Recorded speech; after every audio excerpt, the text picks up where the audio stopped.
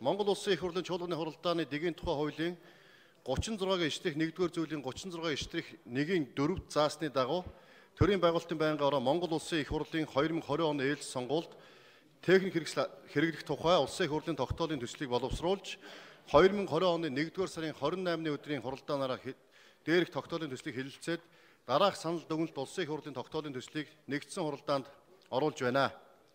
Тогтоолын төслийг боловсруулахдаа сонгуулийн автоматжуулсан системийн тухай хуулийн 6 дугаар зүйлийн 6-гийн 1-1 заасны дагуу улсын их хурлаас ээлж сонгуулийн сонгогчдын бүртгэлийн үйл ажиллагаанд бүртгэлийн техник хэрэгслийг санал авах, тоолох, дүн гаргах үйл ажиллагаанд new image case санал тоолох төхөөрөмжийг тус тус хэрэглэж өвшөөрөхөд тусгасан болно.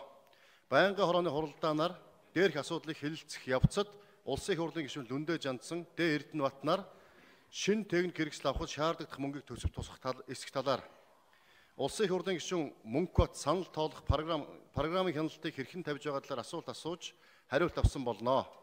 Монгол Улсын их хурлын 2020 оны ээлж сонгуульд техник хэрэгсэл хэрэглэх тухай Улсын их хурлын тогтоолын төслийг байнгын хороонд орол- орол- хор- байнгын хорооны хуралдаанд оролцсон гишүүдийн олонх дэмжиж Улсын их хурлын чуулганы нэгдсэн хуралдаанаар хэлэлцүүлж батлуулах нь зүйтэй гэж үзлээ.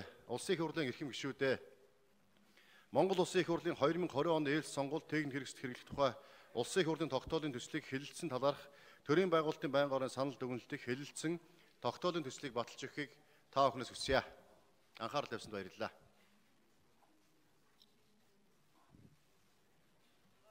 За байнгын орооны санал дүгнэлттэй холбогдуулж асуулт асууж үг хэлэх улсын хурлын гишүүд байна уу? Баасан хөгшмөнөр туслаа. За октябрийн баасан хөгшөө.